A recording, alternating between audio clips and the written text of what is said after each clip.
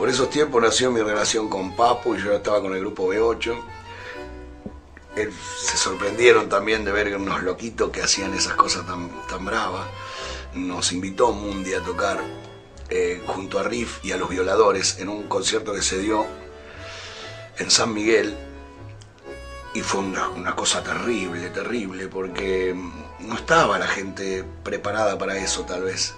Venían, la gente de- de- del mundo del rock y de los conciertos venían de escuchar, qué sé yo, a grupos como Spinetta, Voz Day, este, Nito Mestre solista, y aparecía eso como un baluarte poderosísimo de, de- de una expresión brava, ¿no?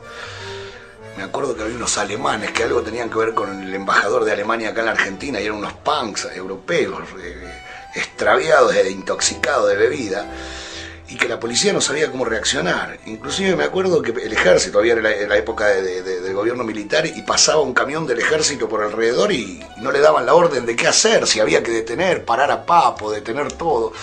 Fue explosivo y creo que eso, eh, un recuerdo muy lindo de... Y para eso estoy yo, para decir que fue verdad. Yo lo viví. Vamos, Riff.